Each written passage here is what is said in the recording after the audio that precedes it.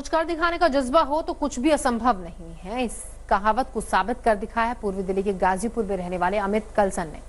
बचपन में शरीर से बेहद कमज़ोर से दिखने वाले अमित ने बॉडी बिल्डिंग में तीन जून को यूक्रेन में आयोजित चैंपियनशिप में अलग अलग प्रतियोगिताओं में तीन गोल्ड मेडल जीते। वो भी उस स्थिति में जब उनके सीधे हाथ के कंधे की हड्डी टूटी हुई है। तीन कैटेगरी में पार्टिसिपेट किया body building classic body building और फिटनेस मॉडल।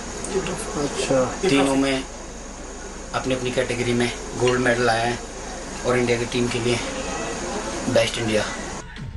अमित इस चैंपियनशिप के लिए पिछले चार महीने से तैयारी कर रहे थे। Modern body building classic physics और फिटनेस मॉडलिंग प्रतियोगिता में पहला स्थान हासिल करने के साथ साथ उन्होंने गोल्ड मेडल जीता और इंडिया टाइटल का खिताब भी अपने नाम किया।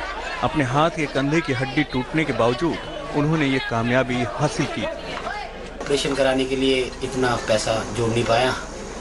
तो तब से बिना ऐसे ही कर दो डॉक्टर ने ऑपरेशन बोला है, पर एक अपने रिस्क पे करते रहते हैं, क्योंकि गेम के लिए जुनून ही इतना ज़्यादा है कि छोड़ नहीं सकते। कई बार हम भी देखते हैं कि कोई वर्कआउट कर रहे हैं, एकदम से हल्का सा कोई जर्क आ गया शोल्डर में कुछ हो गया तो रोते हुए भी देखा है। कई बार हम एकदम से आइस पैक लेके लगाने लगते हैं स्प्रे कर दिया, कुछ कर दिया, इतना पेन भी होता है। बट क्या करें? अब या तो उस पेन को लेके बैठे रहो।